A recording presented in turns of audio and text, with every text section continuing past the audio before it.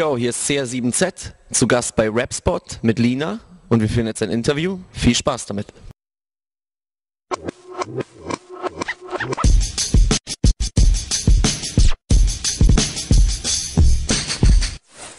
CR7Z in Berlin. Ähm, man sieht die Berliner Skyline leider nicht so richtig im Hintergrund, aber wir sind hier natürlich im äh, Dachloft, im Studio, fast von 5.8 Musik, aber kommt das bald. Du bist hier zum Interview-Marathon, Promotermine zum neuen Album, hast ja auch schon einiges hinter dir in Hamburg, jetzt Berlin. Ähm, ja, wie ist das für dich jetzt so, auch der erste richtig krasse Interview-Marathon vor so einem Release? Ich bin ohne Ende aufgeregt, weil ich es nicht so gewöhnt bin, in der Öffentlichkeit zu stehen. Und ja, kriegen ja auch dann viele Leute mit und, und, und sehen mich so, was ich so quatsche, wie ich so bin. Ähm, ja, und das ist halt immer so eine Sache so. Ich, mich interessiert immer so ein bisschen, wie wirke ich und so und deswegen bin ich etwas aufgeregt, aber äh, die Resonanz ist bisher ganz gut von allen Leuten.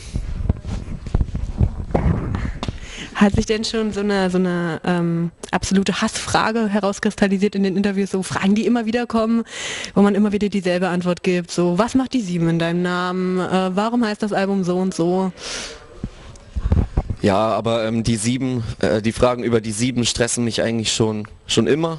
Also das, das ist, nicht, äh, ist nicht erst seit gestern so.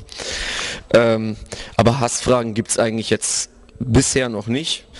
Vielleicht äh, dieses Ganze mit äh, Drogen hin und her, so weil Weißer Sand halt das erst die erste Videoauskopplung so dieses Thema behandelt, aber ich finde man man sollte mich jetzt nicht gleich so auf, auf das Release so da festnageln so. Also das Spektrum ist viel größer tut mir natürlich leid, dass wir jetzt aufgrund der Tatsache, dass ich dich ja erst vor einem halben Jahr im Interview hatte, größtenteils über das Release reden müssen, weil ich habe dich ja eigentlich schon alles gefragt, so über die sieben zum Beispiel. Ähm, ja, kommen wir doch gleich mal zu Anima. Ähm, du hast jetzt damit dein erstes physisches Release in den Händen gehalten. Was war das denn so für ein Gefühl, die CD dann auch endlich zu haben, anfassen zu können? So, da ist mein Gesicht drauf, voll verrückt. Ja, ähm, das ist zunächst mal Freude und ähm, Erleichterung auch, dass es, äh, dass es geklappt hat, weil es gab einiges Hickhack, so ist wahrscheinlich bei vielen Leuten so, die das erste Mal ein Album machen, äh, weil man ja nicht mit der ganzen Materie vertraut ist. So und dann kam dann auch so die Phase in den letzten zwei, drei Wochen ungefähr, wo ich dann äh, wirklich auch dann nicht mehr dem, dem Release entgegengefiebert habe oder dass es halt endlich durch ist, dass es beim Presswerk ist und so weiter. Ähm, ja, das, das war dann schon auch so ein bisschen stressig und äh, als das dann fertig war, habe ich mich äh, dann gefreut, so kann man sagen dass es endlich geklappt hat. Und ja, ansonsten Musik mache ich ja schon immer. Äh, aber das mal in der Hand zu halten, ist natürlich auch was Schönes. Und äh, für, die, für die ganzen Fans und Hörer von mir ist natürlich auch cool, sich das mal irgendwie äh, hinzustellen in die Wohnung und mich natürlich auch zu supporten. Du hast ähm, in unserem letzten Interview gesagt, dass es eben ein, ein, ziemlich langer Prozess war auch schon und dass du aber viel auch verändert hast mit der Zeit. Also gerade was die Beatauswahl anbelangt, dass du dann eben einfach nochmal einen anderen Beat runtergepackt hast unter den Text. Und ähm, ja, nun ist es ja final, nun ist es fast draußen im Prinzip. Gibt es denn jetzt schon Tracks, wo du sagst, hm, jetzt hätte ich doch lieber noch einen anderen Beat gehabt oder das und das anders gemacht? Kam das schon vor? Ja, sicher. Also ähm, ich bin nie hundertprozentig zufrieden. Das ist, äh, das ist auch der Grund, warum ich immer weitermache. So, weil Perfektionismus äh, steht bei, ist bei mir groß geschrieben, aber was Perfektes gibt es ja nicht so. In, also es gibt es einfach nicht. Ähm, aber so im Großen und Ganzen ist das Album sehr rund geworden. Also äh, von daher bin ich zufrieden. Aber klar, ich bin, äh, ich bin ja 24 Stunden äh, am Tag äh, nur, nur auf Mucke eigentlich, kann man sagen, so eingestellt. Und ähm, ich habe schon wieder viele, viele, viele neue, neue andere Ideen, äh, was ich machen könnte, was ich noch vor, was ich noch sagen möchte, etc. Ähm, so dass ich mir denke, hätte ich vielleicht auch noch mit aufs Album draufnehmen können, aber irgendwo muss man auch mal einen Schlussstrich ziehen, das zu einer runden Sache machen. Der letzte Track heißt auch perfekter Kreis, so. Geht aber auch darum, dass der Kreis niemals perfekt wird, so, wenn man, wenn man da mal zuhört. So, äh, von daher ähm, ist das einfach mal ein Schlussstrich und es, es folgt natürlich noch eine Menge von mir, also wie immer. Dazu kommen wir später. Ähm, jetzt nochmal zum Album selbst. Gibt es denn so einen Song, wo du sagst, okay, wenn die Leute was von dir hören wollen, ähm, wissen wollen, wie das Album klingt, das ist so der repräsentativste für dich? dass dieser Song repräsentiert das Album am besten? muss ich überlegen, also ob jetzt da so eine repräsentativ dafür steht. Eigentlich nicht. Also alle 15 Tracks da drauf sind, äh, stehen für sich, greifen ineinander teilweise und ähm, ja, von daher ist eigentlich das, das ganze Album so das Repräsentative, kann man sagen. Also jetzt, jetzt irgendwie einen speziellen Track, der äh, das, das Album umreißt, gibt es eigentlich nicht. Ein Track, der ziemlich ein großes Spektrum umreißt, ist halt perfekter Kreis, weil ich da so in jede Richtung schieße. Ähm, verbal meine ich. Also und auch nicht im Sinne von ich schieße da drauf, sondern äh, im Sinne von ich schneide das an. Ähm, ja, aber der steht auch nicht repräsentativ dafür, weil der auch wieder eine ganz andere Schiene fährt als jetzt zum Beispiel ein Drei Schwerter oder sowas. Also das Album steht für sich als, als ein Track aus 15 Tracks. Ein Track aus 15 Tracks, ich glaube, das wird das Motto des Interviews. Ähm, ja, das Cover ist ja auch ähm, wie typisch für 5-8 Künstler echt kreativ, echt aussagekräftig auch schon. Wer hat das gemacht und was sagt das genau für dich aus? Das Cover ist von äh, We Need Colors, die auch äh, schon für namhaftere Künstler äh, äh die Designs gemacht haben. Ähm, ja, und was das, was das Cover über mich aussagt, ist im Endeffekt, es steht eigentlich nicht mal so direkt nur für mich, sondern eigentlich für jeden Menschen. Also die, die Licht- und Schattenseiten sieht man ja anhand von Sonne und Mond dann diese diese drei, äh, Dreieinigkeit halt so mit dem mit dem äh, mit dem Kopf, dass es alles vom vom vom vom Denken her und so weiter ausgeht. Äh, da, da, da kann man viel rein interpretieren. So das Album ist extrem, das Albumcover beziehungsweise das ganze Artwork ist sehr sehr komplex äh, gestaltet. Mm, jetzt nicht nur die Front, also das Cover, sondern auch ähm, drinnen ähm, erwarten noch einige Überraschungen, sozusagen visuelle Überraschungen. Ja, äh, es ist äh, es ist dope, auf jeden Fall. Also an der Stelle auch mal nochmal vielen Dank an Weenie Colors. Immun, du weißt. ähm, ja, und äh, ich, ich finde, die Leute sollen, äh, sollen das einfach mal auf sich wirken lassen. So, es ist schon sehr symbolträchtig so. So, ja, ich, ich, ich, ich wüsste jetzt nicht genau, für was genau das jetzt stehen soll. Äh, es steht für vieles. Man muss es, man muss es einfach mal auf sich wirken lassen. Es ist so, es ist so komplex gemacht einfach. Ich kann es nicht, es nicht beschreiben, so komplex ist es. Wenn dem Künstler die Worte fehlen. Naja, ähm, Worte, davon hast du auf deinem Album eine ganze Menge, natürlich. Ein Motiv ist bei mir irgendwie besonders hängen geblieben, weil du sowohl in äh, Weißer Sand als auch in dem Folgetrack Neue Welt anwendest. Und zwar, das ist äh, die Teile Lachen geht die Welt zugrunde die doch irgendwie auch ganz schön was in mir ausgelöst hat. Und ähm, da würde ich gerne wissen, was genau du damit meinst. Ja, konsumieren, die Leute konsumieren äh, und konsumieren und konsumieren. Und ähm, ja, währenddessen wird halt alles ausgebeutet. Der ganze Planet geht einen Bach runter, wie man ja auch äh, sehen kann, jetzt nicht nur anhand von Medien, sondern einfach, wenn man so ein, so ein bisschen um die Ecke denken kann, was, äh, was für Folgen äh, die Dinge haben, die wir tun in unserem alltäglichen Leben. Äh, lieber vor der Glotze hängen, statt jemandem zu helfen. Sowas zum Beispiel halt, äh, da, das ist eigentlich uferlos und, und, ein ziemlich trauriges Thema. Von daher auch dieser, Zwiesp äh, dieser Zwiespalt, so mit diesem Lachen geht die Welt zugrunde, äh, sollte man nicht als äh, positive Line auffassen, sondern eher negativ. Also das ist mit, äh, mit, mit so einer gewissen Ironie gesagt. Ja, und ich sehe halt einfach überglückliche Leute, ähm, durch ihr Leben spazieren, ähm, die aber ziemlich viel äh, Leid ähm, mit sich mitziehen, dadurch, dass sie halt einfach in ihrem kleinen Mikrokosmos leben, ähm, ja und, und, und viel Augenmerk auf, auf Dinge um sie rum nicht legen und deswegen äh, ja halt äh, wieder Leid oder zumindest äh, äh, seelische Schmerzen halt hervorrufen. So, ich kenne das auch aus dem Privatbereich, aber das, das, das brauche ich jetzt ja hier im, im Interview nicht ausführen. Ähm, ja, Deswegen, lachen geht die Welt zugrunde. Die Leute sind, äh, besonders die Jugend, äh, am Feiern. Und äh, ja, aber in Wirklichkeit ist die Lage ernst und es gibt eigentlich, äh, wenn man es drastisch runterbricht, nicht unbedingt Grund zu feiern. Inwiefern ist die Lage ernst? Also welche Punkte genau würdest du ändern wollen? Du sagst auch, ähm, in ähm, Weitsicht zum Beispiel, dass sich die Welt in eine völlig falsche Richtung entwickelt. Also, aber in, entwickeln heißt ja auch, dass es nicht immer so war. Also, dass es ja mal besser gewesen sein muss. Und ähm, was genau entwickelt sich gerade in deinen Augen komplett falsch? Wo würdest du jetzt am liebsten sagen, ey Leute, stopp mal, es muss jetzt irgendwie mal was passieren so? Ja, die ganze Technik zum Beispiel ist eins, also das, das Thema ist auch sehr komplex so, aber Technik ist halt ein großes Thema, wie jetzt das mit dem Internet oder irgendwelche Sachen ist. Es funktioniert ja alles nur noch elektronisch, also wenn mal der Strom abgestellt wird, dann ist äh, Schicht im Schacht für viele Leute so.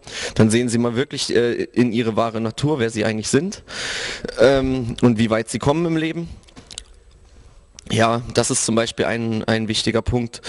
Äh, oder, oder einfach halt diese ganze Abspaltung von, von, äh, von, der, von den Emotionen. Halt, ähm, äh, ich lese zum Beispiel gerne Bücher.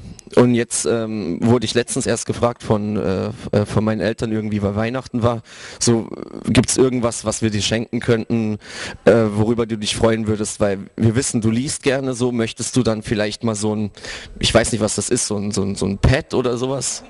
Hm? E-Reader, genau. So weißt wie es heißt. So und ähm, ich weiß es nicht mehr so.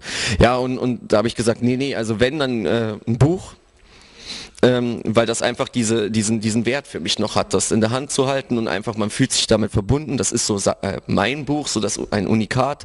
Ähm, Genau, und, und wenn du da so einen E-Reader hast, so das ist halt einfach und, und blätterst da durch. Ich weiß nicht, vielleicht ist ja auch augenschonend oder was es nicht alles gibt. Äh, aber für mich ist das nichts. Also ich, ich, ich habe lieber dann so, nach, nachdem ich es ein paar Mal durchgelesen habe, so ein abgenutztes Buch und verbinde damit gewisse Momente, als wenn ich da irgendwie über so eine, über so eine digitalisierte Anzeige drüber striche. So, das, das, das, das hat für mich, äh, das ist für mich äh, zu kühl. Und, und so ist es halt auch mit vielen Dingen, halt, dass, dass einfach die, die, äh, die Menschen extrem abgeko äh, abgekoppelt werden von, von, der, von der emotionalen Bindung zu Dingen. Alles ist, äh, wird immer schneller so und, und, und besser, aber besser in Anführungsstrichen. Ich habe ja, ähm, ich habe ja Verlagswirtschaft studiert und ähm, entsprechend relativ viel mit diesem ganzen Thema E-Books und so zu tun gehabt und äh, das Witzige ist, dass ganz, ganz viele Leute sagen, also auch ganz, ganz viele Leute, die online sind, die eben schnelllebig sind, die sich eigentlich keine Platte machen und Dinge so, ach Bücher, Bücher will ich aber zum Anfassen haben, Bücher will ich, also selbst wenn es nur Taschenbücher sind, das muss einfach physisch sein und das wundert mich immer so ein bisschen, wenn man einerseits immer online sein will und immer, ähm, immer Party machen will und immer schnelllebig, aber dann bei manchen Dingen so mega traditionsbewusst ist. Also es scheint beinahe, als wenn die Menschen da ganz schön äh, widersprüchlich sich selbst gegenüber. Aber ähm, dieses ganze Thema neue Welt und so, neue Internetwelt, der hast du ja auch einen, einen Song gewidmet, der genauso heißt Neue Welt, ähm, der die, die Sache aus äh, einer ziemlich spannenden Perspektive aufrollt, nämlich aus der ähm, wirklich menschlich füreinander da zu sein, dann aber doch lieber einen Link geschickt zu bekommen und sich ablenken zu lassen von dieser neuen Welt. Und du sagst auch, dass du die alte Welt vermisst damit irgendwo. Ähm, was ich jetzt spannend finde, du bist ein Künstler, der eigentlich mehr oder weniger seine gesamte Karriere irgendwo dem Internet zu verdanken hat. Also deine Releases bisher waren alle online.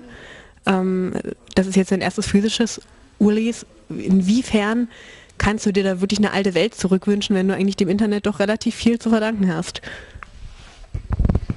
Also ich bin prinzipiell immer noch kein Freund davon, dass irgendwelche Sachen übers, äh, irgendwelche Geschichten übers Internet geklärt werden. Ist halt cool wegen ähm, der Distanz, die zwischen mir und den Jungs ist.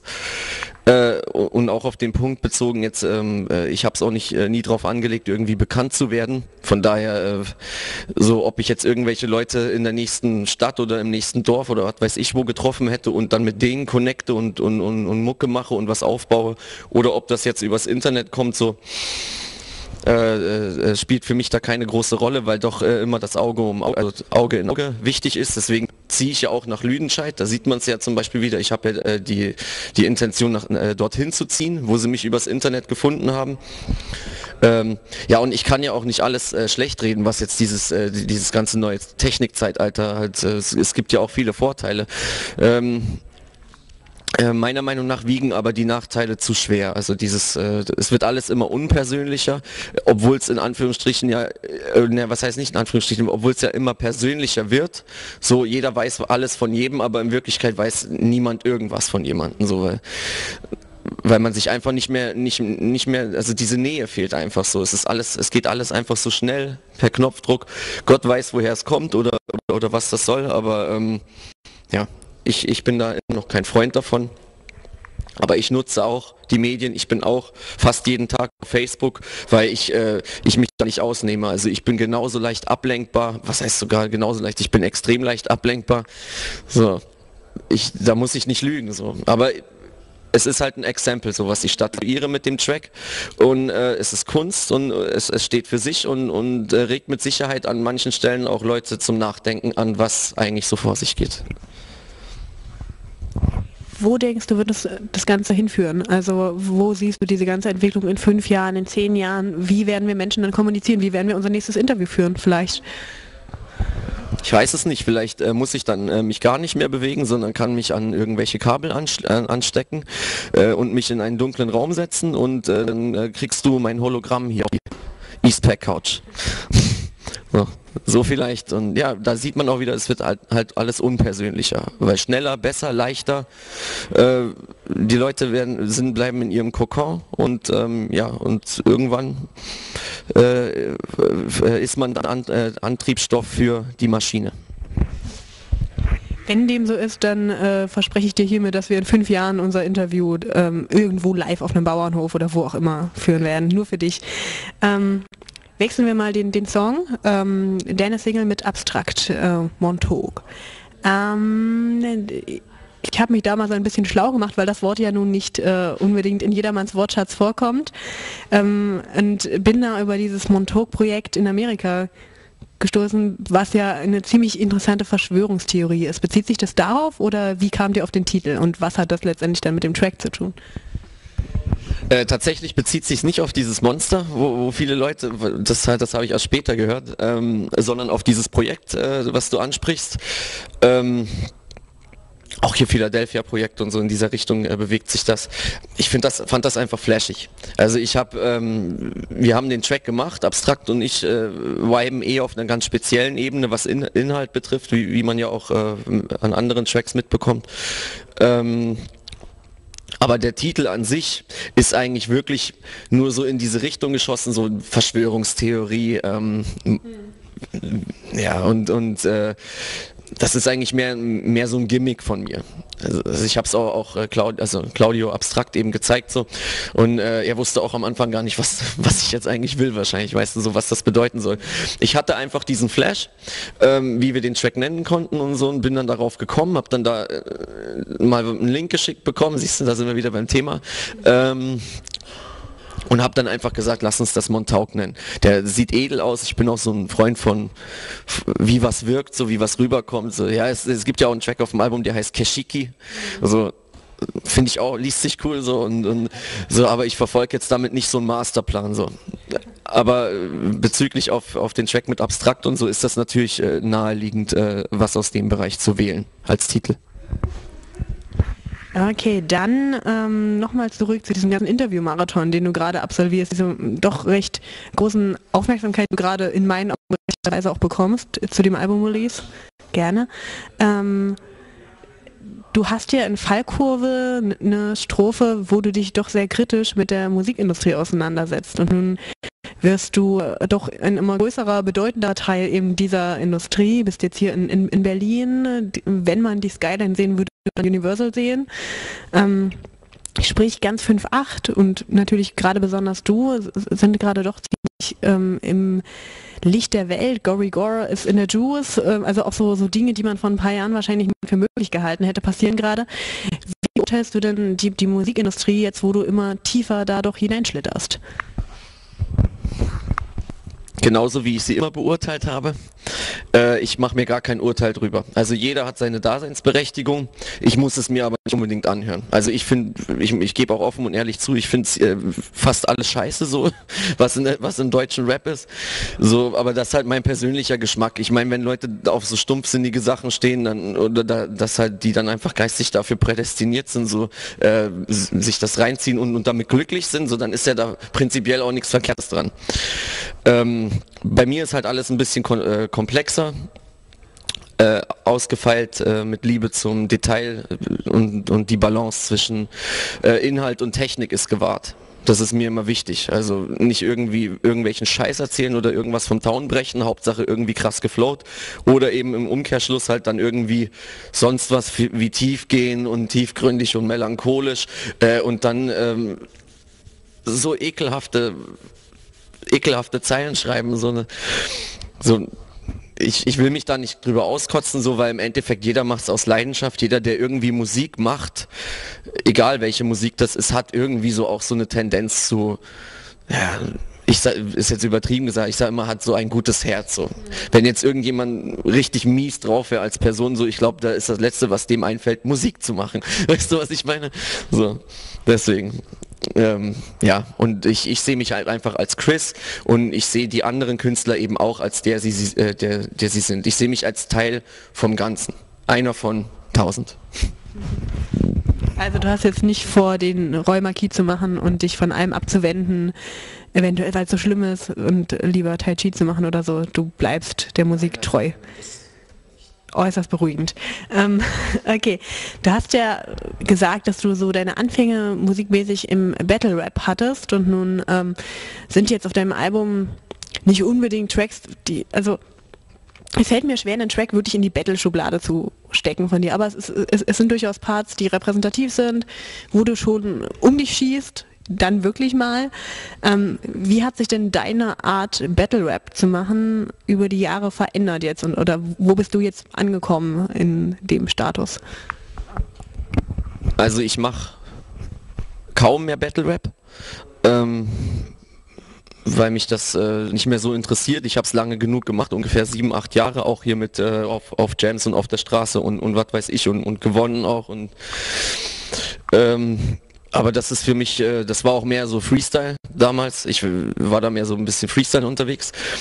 Ähm, ja, und, und Battle Rap war eigentlich für mich ich habe mit Battle Rap angefangen, weil Battle Rap nicht äh, gut ist, um an den Skills zu feilen. Also man muss jetzt irgendwie äh, äh, großartig eine Message reinpacken, so, sondern man kann einfach, äh, was weiß ich, Kreuzreime, Kettenreime. Ich bin Technikfanatiker, so muss ich ehrlich zugeben. Das, das ist für mich ein wichtiges Kunstelement, äh, was Rap betrifft, weswegen auch so ich so viele eben nicht so gut finde, weil, weil sie, sie sagen, viele sagen halt so, man braucht das nicht, aber ähm, ich weiß nicht, vielleicht können sie es halt nicht so, weiß, weiß ja nie, das scheiße, vielleicht hat er selber nicht drauf und sagt dann so, das brauche ich nicht. So, ähm, das ist ein bisschen zwiespältig. Ja, und wie gesagt, ich, ich bin halt ähm, ein sehr träumerischer, kreativer, fantasievoller Mensch, so würde ich jetzt mal so von mir behaupten. Und dann kommt das eben mit dem, mit, mit den, mit den Melodien und, und ähm, diesem Tiefgang halt. Das hat sich irgendwie so entwickelt, wo ich dann so, so, so eine gewisse Technik entwickelt habe, mit der ich zufrieden war, wo ich drauf aufbauen kann, aber wo ich halt gesagt habe, okay, das hier ist jetzt mein Handwerk und damit kann ich jetzt auch anfangen, in die Tiefe zu gehen. So, aus Battle Rap ist das quasi entstanden, könnte man sagen, so, um meine Technik zu schärfen, besser zu werden. Ähm, genau, und deswegen ist das jetzt äh, größtenteils auch alles recht deep. Und du beobachtest doch heute Battle Rap, der so passiert, nicht mehr wirklich oder sp spielt das noch eine Rolle für dich? Ja doch, ich finde hier, ähm, ich habe es jetzt vergessen, wie es heißt, aber äh, in Amerika gibt es doch diese, diese äh, Freestyle-Cyphers da, ähm, oder auch mit Texten ist das so, wo Disaster und, und, und gegen was weiß ich wem battelt. Ähm, die finde ich cool. Da rappen die auch mal eine halbe Stunde durch, so. Das ist so ein Part bei denen, eine halbe Stunde. So, deswegen, das ist schon mal jenseits vom, äh, was hier Leute in Deutschland sagen, die auf die Kacke hauen, so ist das da äh, wieder mal Next Level, drei Jahre voraus oder zehn. Ähm, davon bin ich sehr begeistert.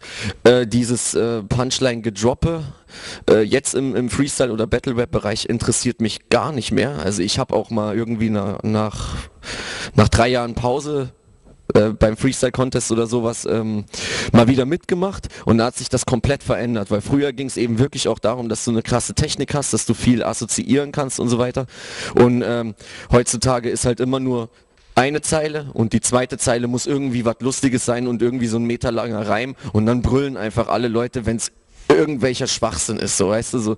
Und, und ich bin nicht so der Schwachsinnschreiber so, sondern mehr so auf Skills halt fixiert. Von daher habe ich da auch gnadenlos verloren, weil ich nicht mehr dieses Lustige hatte, so was jetzt da irgendwie im, im Trend ist. So. Also Deutschland Battle Rap mäßig ist jetzt ist jetzt nicht so das Gelbe vom Ei für mich. Dann halt lieber hier, wenn mir der Name einfallen würde, fällt es nicht ein. Auf jeden Fall Desaster, sicker Kerl. Ja. wird, wird nachgereicht. Ähm, ja, dein Ziel war, als wir das letzte Mal gesprochen haben, zu Anima drei Videos zu releasen. Mindestens drei, beziehungsweise, beziehungsweise da meintest du so, auf jeden Fall gibt es eins, vielleicht zwei, mein Ziel wären drei. Die hast du jetzt ja schon, bevor das Album überhaupt rausgekommen ist. Das ist ziemlich cool. Ähm, planst du jetzt dann noch ein viertes und ein fünftes und vielleicht 15 oder so? Nee, also äh, die drei Videos äh, stehen schon mal fürs Album, ähm, aber wir haben trotzdem, wir sammeln trotzdem weiterhin Video, Videomaterial und ob da noch was zum Album kommt, will ich jetzt nicht sagen oder kann ich nicht sagen. Äh, es kommt aber auf jeden Fall noch mal was äh, in, in der nächsten Zeit, also was was in dem in diesem in dieser Phase halt noch äh, mit einspielt, was damit zu tun hat. Wird man dann sehen. Für mich als Stammkundin diverser Berliner Plattenläden ähm, stellt sich natürlich auch so die Frage, das Abstraktalbum, das letzte, kam ja auf Vinyl. Ist sowas bei dir auch geplant? Äh, bisher nicht, aber ähm, die Anfragen häufen sich und äh, wenn das noch weiter so geht und die Leute äh, danach fragen, dann äh, werden wir das sicherlich auch machen. Plus bisher, äh, man muss auch ein bisschen abwägen, weil wir haben auch echt verdammt viel um die Ohren momentan, äh, ob sich das lohnt, jetzt da ähm, in diesem Bereich noch reinzugehen bei meinem Album, aber prinzipiell spricht nichts dagegen. Also fragt einfach mal weiter an, macht Druck, wer Bock auf Vinyl hat, so. Ähm, ich ich würde es jetzt nicht verneinen, dass es Anima nicht auf Vinyl gibt. Ich ich meine, und ich persönlich noch so finde auch so, dass das Cover bietet sich halt echt cool für eine Platte an. Ne? War so mein, mein Gedanke, wo ich das gesehen habe, da könnte man auch eine Vinyl draus machen, aber nur dem Kunstaspekt. Äh, deswegen so. Ja, also äh, fragt einfach weiter nach und äh, die Möglichkeit besteht. Bei Abstrakt was, soweit ich weiß, auch dann äh, wegen der ganzen Nachfrage. Ja. Also Leute, Stress machen bei 5.8 Musik. Ja, ähm, jetzt ist 2013 ganz frisch. Du startest direkt mit einem Monsterprojekt, mit einem neuen Album. Ich habe gehört, dass auch diverse Live-Auftritte, jetzt erstmal Lüdenscheid, vielleicht auch eine Release-Party, stimmt's? Ja, genau. genau. Also es kommt auf jeden Fall eine Menge. Was genau denn da alles so? Also ähm, äh, hier auch mal, nochmal der Aufruf, äh, wenn ich schon mal die Möglichkeit habe, äh, wir suchen äh, eh jemanden, also einen Booker, der Bock hat, ähm, Auftritte klar zu machen. Ähm, genau, am 9. März ist bei der Hoodstock Jam in, in Lüdenscheid äh, die Release-Party von meinem Album, ist jetzt zwar schon nach Release, aber ich werde das dort performen. Ähm, ja, ansonsten haben wir auch noch ein paar andere Sachen in Aussicht, äh, wo wir auftreten werden oder ich auftreten werde, äh, muss aber noch in trockene Tücher gepackt werden. So und genau, eben nochmal der Aufruf, dass halt, wenn jemand Bock hat, so das zu übernehmen, weil, weil es, es, es expandiert schon heftig bei 5.8 Music so, dann, dann wäre das cool. Also schreibt einfach auf die Homepage äh, bei Interesse und dann werden hoffentlich auch ein paar Bookings folgen und ich bin auch heiß auf die Bühne. Und neue Projekte so im Studio, steht da schon was an? Ich darf ja nicht so viel verraten. Aber natürlich, also wer mich kennt, so der weiß, dass ich äh, nur auf Mucke bin so und deswegen so ich, ich arbeite fleißig weiter. Ich schreibe weiter fleißig und ähm, was jetzt da draus, äh, draus wird, weiß ich noch nicht genau, aber ich habe auf jeden Fall zwei, drei Projekte am Laufen ähm, und äh, im Kopf auch noch noch paar andere Sachen. Aber dazu müssen noch die Hebel in Bewegung gesetzt werden, damit das funktionieren kann. Ja und ansonsten halt einfach weiter das äh, gewohnte Exclusive Inferno von mir. So, da werde ich nicht aufhören. Tut mir leid. So. Also dann äh, freue ich mich auf jeden Fall auf ganz, ganz viel neuen Stoff von dir und äh, wünsche dir ein wahnsinnig tolles Jahr 2013 mit allem, was du dir wünschst und dass äh, 2013 eigentlich die neue 7 wird, wenn du so willst. Also ähm, bin sehr gespannt, was da alles kommt. Wünsche dir persönlich und musikalisch nur das Beste und würde dir jetzt so zum Finale des Interviews einfach mal die letzten Worte überlassen. Okay, die typischen letzten Worte. Mein Album, äh, mein Debütalbum Anima erscheint am 28.01.2013. Ähm, ist überall zu ordern, also am besten hier direkt bei uns auf der Seite www.58music.com, M-U-Z-I-K, das Music geschrieben. Dann bei HHV, also ähm, Hip-Hop-Vinyls, ähm, MC, gibt's das und ähm, digital bei äh, Amazon, iTunes, Music Load und ähm, ja, also Falls ich jetzt was vergessen habe, Verzeihung, aber ich glaube nicht. Checkt das Album aus, lasst euch drauf ein, urteilt nicht zu schnell und ähm, Vielleicht erreicht es ja den ein oder anderen zwischen all, den, all dem Schrott.